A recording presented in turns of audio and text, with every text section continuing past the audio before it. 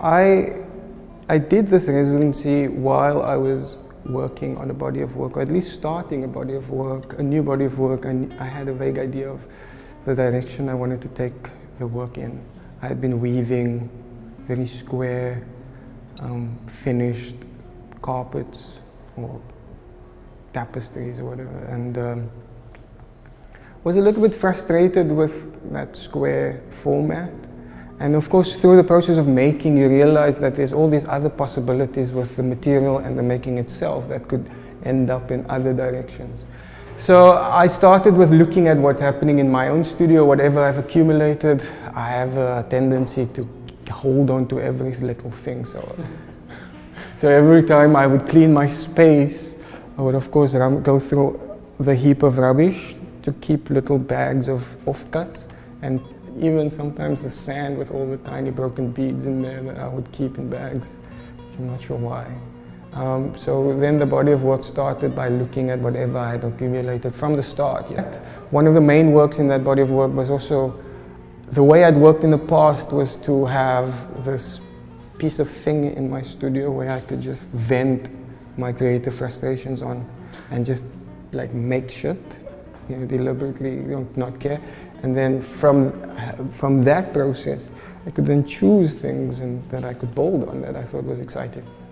Um, in this case, the actual thing that became that was meant to not be a thing turned into the, an artwork that I was very excited about and, and developed. Um, and so during all of this, we were doing the residency visiting uh, the, all, um, the three different companies that we went to. And so the, the, the, the, materials I tried really to slot into everything I had already accumulated and was accumulating. Um, for the works that you see here, the, um, I suppose I wanted to expose the beauty of the material as I saw its potential and give it structure because it's soft. Uh, was the first thing I started with. As you, you, see with this material, I, around the edge, I had stitched onto it a very thick wire so that I could then bend it and twist it, of course, and, and, um, and simply give it some form, um, but not uh, control it too much. Also, yeah. let it be. let it just let it happen. I wanted just to break up because I thought that these it was quite flat, you know. I liked the, the tone, the playing on, of the grays and the browns, but parts of it was so flat, and I thought that these lines would just diffuse it and break it up a little bit. And there's a little bit of uh, leaves or something. Yeah, but starting with a flat material like that, it's quite an easy default to go back to the square format with a flat format in any case. Exactly. That's the challenge, I guess. Um, yeah, and so it, it was all along part of that body of work, and it actually kind of was supposed to serve this important aspect of that body, which is, you know, I thought that it had this nice kind of sinister and darker feel that would have added, would have contrasted what was going on with that, with the other works. And uh, especially when I start the body of work, I just enjoy discovering things, materials. Um, and then looking at its potential. People seem to know, even Afrikaans, I mean, it's an old word, but anyway, what it means, there's kind of two meanings. The one is stoffelike oorskot, which is human remains. Um, and then the other, of course, is remnants, either things left behind or excess, surplus, you know. Um, but yeah, the, I guess the, the title in some regard, in the one regard, refers to where I left off with that performance with my father, where I basically died. And um, the other part of it was, of course, the starting, uh, whatever was the, all the leftovers in my studio. Like, uh, um, in one of the work, actually, there was things, leftover material from every body of work that I've ever created um, that, that I just had all of these things in bags that ended up in this one piece. Um, and then beyond all of that, conceptually, what I, I think the starting point was I went to Panama and was quite inspired about how these things grow these in the jungle. We went out in the jungle and how all of these ivy, these creeper plants just cover these trees and create amazing shapes and um, I'm just really interested in how the plant would move in space and over uh, objects and and that became the starting point. I I'd been thinking about this before since I heard this little story. I, am Muslim and uh, I'm very interested in the Sufi concepts of Islam, you know, the mystical side, the things that cannot be proven and can never really know. And one of the stories that my teacher uh, told us was about, well, actually I asked her what was the, what, from her point of view, how does she feel, how, what does she think about creativity itself, you know. Um, and she, she, she said that the importance of creativity is the entire universe from the Quranic, from Sufi point of view, was created purely with creativity. And she was telling me the story of if you think about water dripping after, after a while, uh, moss would start to grow, and, and that whole process is due to the energy of creativity.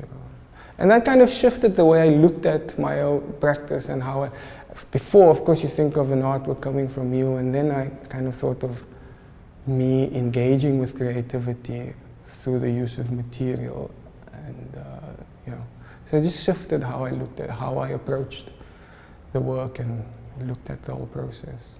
And so I drew a little bit about the, from the plants and moss and greens and all of that. Green was a strong feature in the exhibition.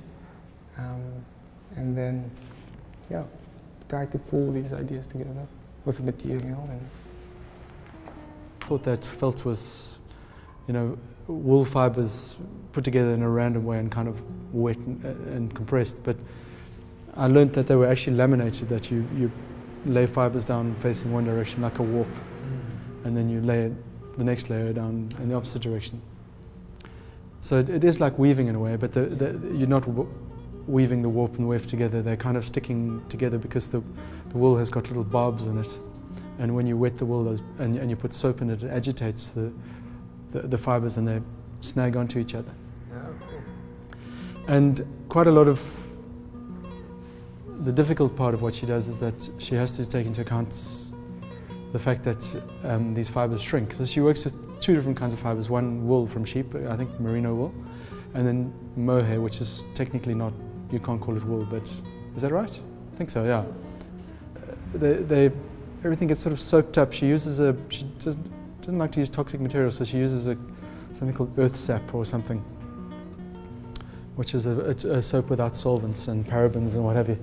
And uh, then they use bubble wrap. They put bubble wrap on top of the felt and they roll it all up, and, and there was all this beautiful silvery light, and it was. I, I used to feel very kind of visually stimulated by going out there. And my wife actually noticed it because I would come back with lots of photographs of, you know, shards of light and stuff. Anyway, so I I became interested at first in the idea that these different fibers shrunk at different rates. So the mohair shrunk, I don't know, to 80% of its size, and the wool shrank to more. I can't, I can't remember. It's and so I thought about how we could use that to, to, to engineer a fabric, say, and to produce volume uh, or, or relief or depth or something in a, in a fabric by arranging the way we arrange the, uh, by organizing the way we arrange these fibers. And I started looking at typical fabrics, uh, and, and the one that kind of stuck in my mind was what we would call a gingham, which is like a cheap Italian restaurant tablecloth, you know, with red and white stripes on the warp and red and white stripes on the weft, and you end up with, with three different tones. You get a white, yeah. a pure red, and then a mix. And so we ended up doing a process a little bit like that, but instead of using different colors, we used different fibers. And I thought I was being very clever, and, and it took a few goes, but eventually we were able to make a, a, felt fabric that had raised bumps in it, blisters, if you like. It looked like like you were making ravioli and you hadn't uh, on a whole sheet and you hadn't yet cut it up into the little parcels. Not, I know that's not how you know make ravioli, but if you did, yeah. I, I remember actually what spurred the idea. It was a misunderstanding because the first day I went there, Stephanie was making a, a, felt throw that someone had commissioned for her, and I didn't think clearly about what a throw was, and I, I was thinking it was like a shawl. I mean, no, no, no, no. That's what she was making. I was thinking she meant something to go on a bed. And I started thinking about uh, seersucker fabric. I, I don't know if you'll probably recognize it. It's not strictly, but typically it is produced in stripes of, of contrasting colors like a blue and a white.